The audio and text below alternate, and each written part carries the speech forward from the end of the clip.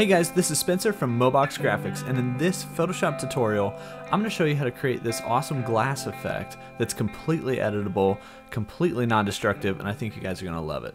I'm going to show you first how this thing is built and what we can do with it. So you see over here in the layers panel we have layer effects folder and a background folder.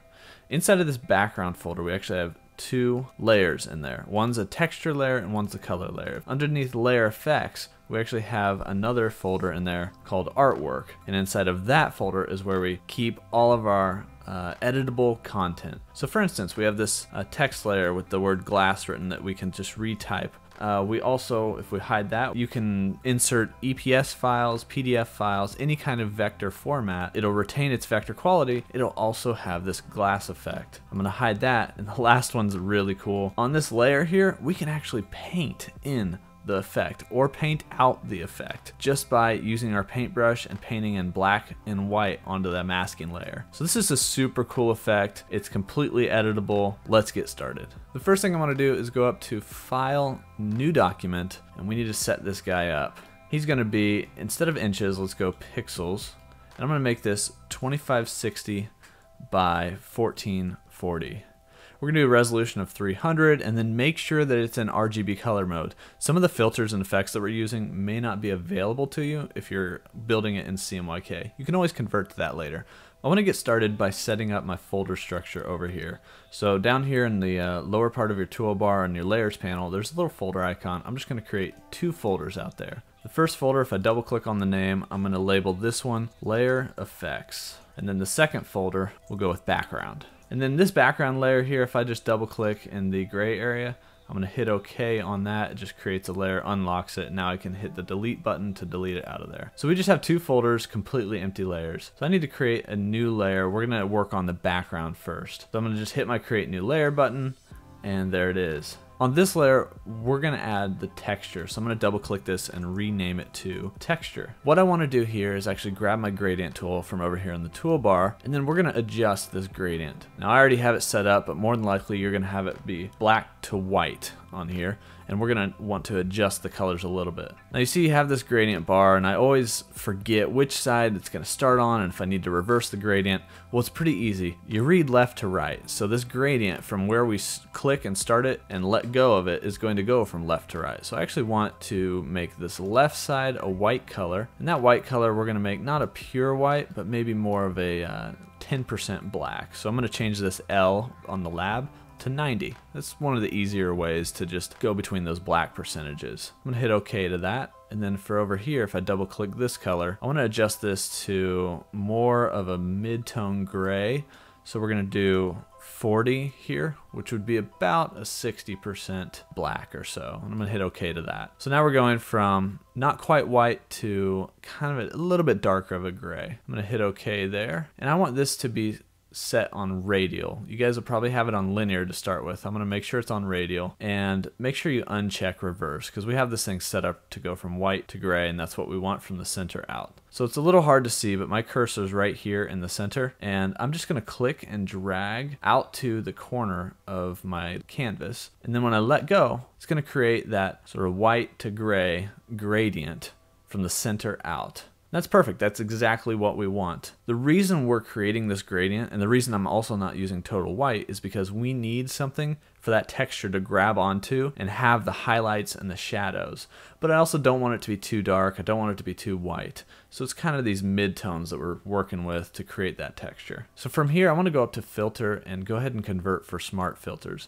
That's going to allow us to edit the filters later because it creates a smart object over here out of our texture layer. Now you'll notice that your gradient icon, your cursor is like a, hey, you can't do this icon, a circle with a little slash through it. That means I can't affect this. And if I click, it'll actually tell me I couldn't, you can't use the gradient tool because smart object is not directly editable. So let's say you wanted to go back and change this gradient later all you have to do is double click on your layer thumbnail. And that's going to open up that smart object. The smart objects is kind of like uh, having another Photoshop file hidden within your Photoshop file. You can see up here it actually added another uh, document and that is the texture PSB, which is PSB is just a large format Photoshop file in case you actually create too many layers in here. This texture comes from that layer. So we can now edit this gradient just like we did before. And if I hit Command S, that saves it and I can just exit out of this and that edits it over in our main document. I'm gonna go ahead and undo that and take our gradient back to where it was. So we've got this smart object over here we're going to apply a filter to it. And that filter is going to be found in Filter Gallery, which is just a couple down from the uh, filter drop down. So once we open that up, there's going to be a lot of choices in here. And we have all sorts of different, uh, you know, you can do colored pencil, artistic brushstrokes. What we want is under Distort, and it's actually a glass effect. And this glass effect is pretty easy to work with. The texture that we want is the frosted texture. There's a few others like canvas and blocks that you can work with. Um, I think the frosted one creates the best sort of glassy feel. Uh, and then the distortion, we're going to want to set that to 20, the smoothness to 2, and then the scaling to 200%. And I'm going to go ahead and hit OK on that to commit that texture. Now you can see it's added that texture to our canvas. And I think that this texture just gives it a little bit more, it kind of adds a little more effect to the, uh, to the whole look of this, of the glass texture. Now I do want to do a couple more things. I think this is a little bit strong, so I'm going to go ahead and switch the opacity down to 75%. And we need to create our color layer. So I'm going to do that by selecting the shape tool over here in our toolbars towards the bottom of your tools. And from there, I'm going to click and drag outside of my canvas from one side to the other and let go. And we've created a black shape. You can see that with the black fill. There's You can see this uh, dialog box for the live shape properties that popped out, or you can see uh, all this stuff up here. We want to fill and no stroke. And what you can do with this shape layer, this rectangle, is actually double click on its thumbnail. And you can adjust the color as easy as picking a new color. So the color that I'm going to use is 28 FD 90. Kind of a mint green color. I'm gonna hit OK with that. Minimize this properties panel, and then I'm gonna drag this rectangle underneath our texture layer. And we're getting a little bit through because we currently have the opacity of the texture set to 75. But this is not the exact look that I want. I'm gonna change the blending mode of my texture layer to linear burn. So that's it for our background layer. I'm gonna minimize this smart filter just to clean that up. And then I'm gonna also minimize that background folder. So we've got that all set up, it's time to do the layer effects. Inside of this layer effects folder, I'm going to add another folder. And that one's going to be called, if I double click here, it's going to be called artwork.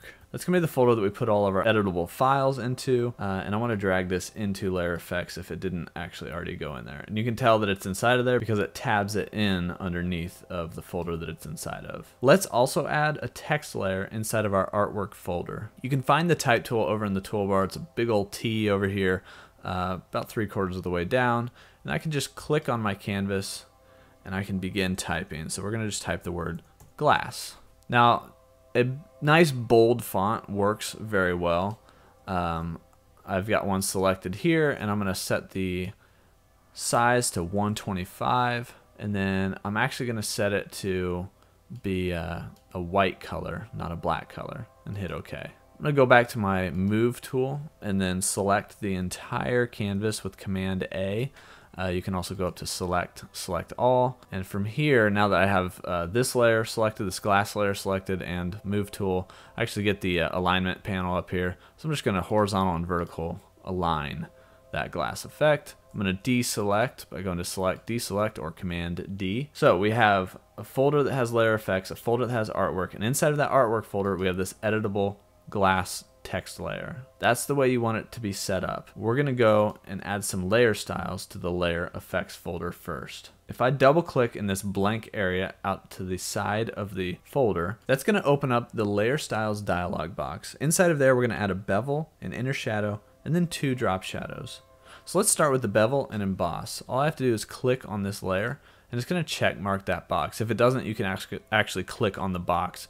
It'll check mark that and then click on the layer somewhere to get all the options over here that we're going to adjust. So let's start with structure. The style that we want is inner bevel. From there, we're going to select smooth for the technique and a depth of 175%. And then the size and soften is going to be 15 pixels on size and 0 pixels on soften. Now you can't see a whole lot happening yet, but there is a little bit of a shadow on this. we're going to change our text layer in a little bit and that will show all the effects for us. Underneath shading, let's do 50, 50 for the angle, uncheck global light. And then for the gloss contour, we're going to select the cone shape. If you hit the drop down arrow, you have a lot of shapes here. It's going to start on just straight diagonal shape. Go ahead and select the cone shape and then you can select anti-alias if you want. Under highlight mode, change this to linear dodge and we're going to go all the way down to 10%. And for shadow mode, we'll do linear burn and we'll go all the way down to 5%. And for the highlights, I just picked straight white, and for the shadows, straight black. That sets up our bevel and emboss, so let's move on to the inner shadow. For the structure of the inner shadow, underneath the blend mode, we're going to add linear burn, the opacity only 10%,